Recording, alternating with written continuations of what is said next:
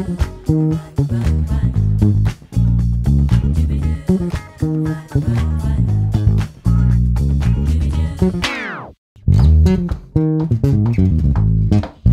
a funky bass line. Uh, this song is actually from a, a guy named Roy Ayers or Ayers. I'm not exactly sure how to say his name.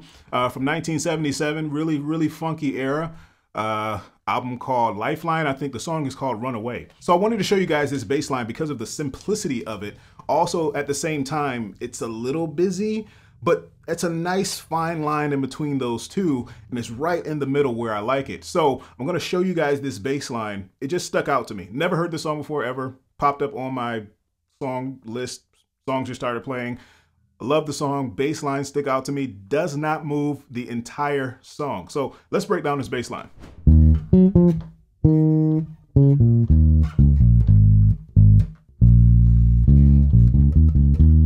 So with this bass line, the syncopation actually makes it really, really interesting. The one, two, three.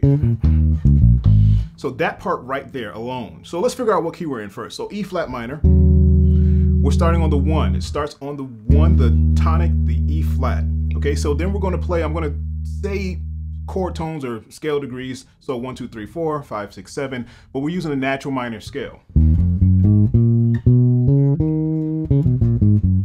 So you can create this any way you look at it, depending on what the octaves are. Okay, so first we got one, three, two, one, right? So minor three, two, one. Seven or minor seven, five, one. So I won't say minor seven because we're in a we're in a key of E flat minor, so it should automatically be a minor seven or flat seven or a flat three or minor three. So I'll just say the number three or seven. Okay, so we got one, three, two, one, seven, five, one, and then we're going to do seven, the octave lower, five, the octave lower, and then we're going to go to the four, the octave lower. Okay, so all together, one, three, two, one, seven, five, one, seven, five, four. So that's an easy way to think about it. Just thinking of numbers, all you have to think of is just seven different numbers, like a telephone number.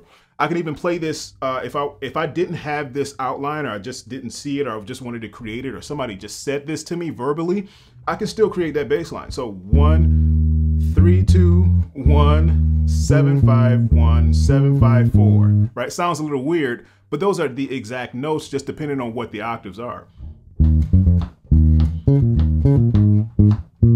Same exact thing as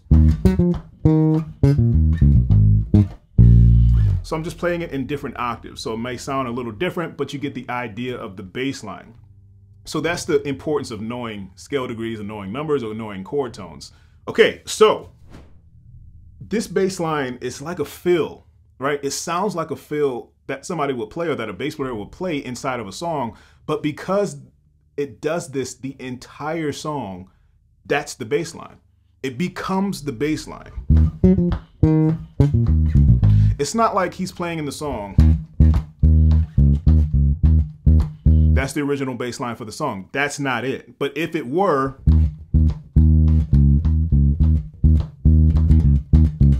you see what I mean? Now that becomes a fill.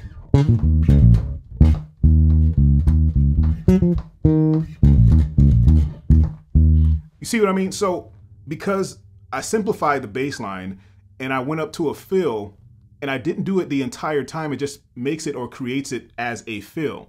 But now to think of these terms, and you can think of this the same way when you're creating bass lines, it's a nice, easy trick to do. I do this all the time. I create my lines or my fills or phrases into bass lines to an extent though. All right. So you have to be careful when you're doing this um, because you can definitely sound busy. You don't, don't want to be a busy bass player. Uh, but at the same time, there are those busy lines, sort of semi-busy lines that sound amazing and that sound great. But like I said, for this bass line, it's super, super simple and it stuck out to me. I was like, man, that's it, it's it's driving like it's.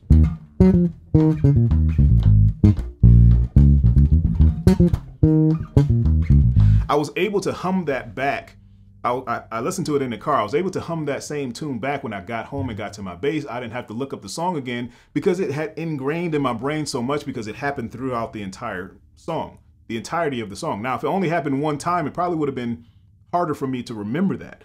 But because he established it, I don't even know the bass player's name, so forgive me. Um, but whoever it was, it was, he was rocking, he was killing.